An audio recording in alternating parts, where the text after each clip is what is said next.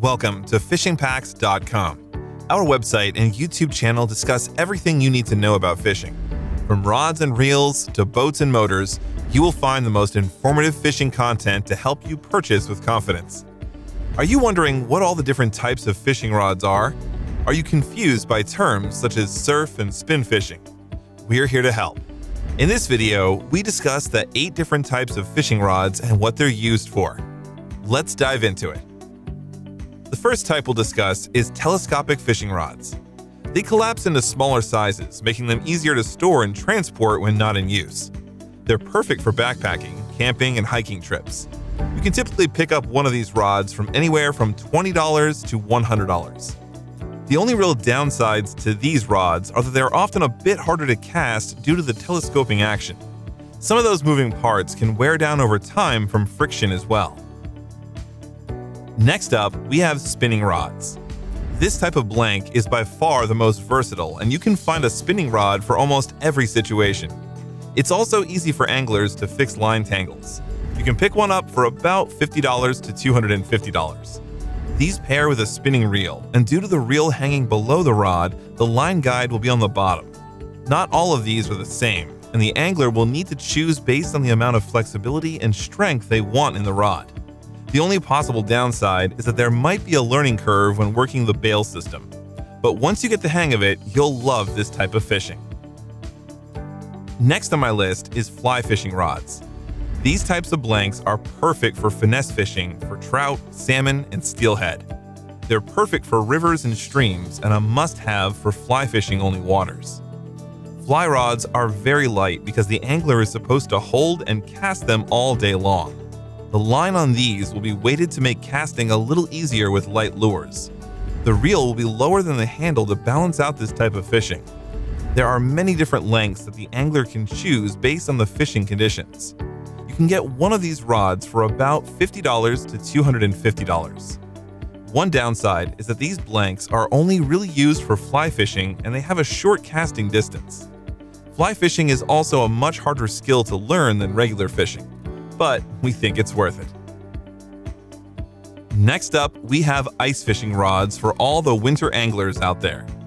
These types of blanks are best for catching pike, pickerel, walleye, and panfish through a hole in the ice. They are excellent for fighting fish beneath the ice since they are so easy to handle. They are lightweight and sensitive, making it easier to tell when even a tiny nibble occurs on the end of the line. These are designed to handle the frigid temperatures that can occur when ice fishing. One disadvantage is that these rods are typically too short for most other use cases. You won't be able to cast an ice fishing rod in the same way you do other types. These rods typically range from $20 to $150. Next on my list, we have casting, also called bait casting rods. These types of rods are perfect for beginner anglers and kids as well as warm water fish species. They are the easiest rods to operate and rarely get tangled due to the enclosed reel system. They also feature great casting control to help newbies get used to fishing. One potential downside is that these rods pair with a bait casting reel, which can be difficult to open up for maintenance. I must point out that even though that's the case, they rarely need any serious maintenance you can pick up a casting rod for around $20 to $150.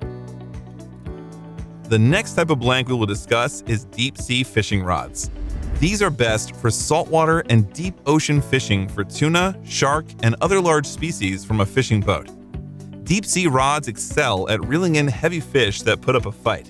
They're usually a lot stronger than other rods and made from top-notch materials. One drawback is that deep sea rods are very long and can be difficult to tote around and store.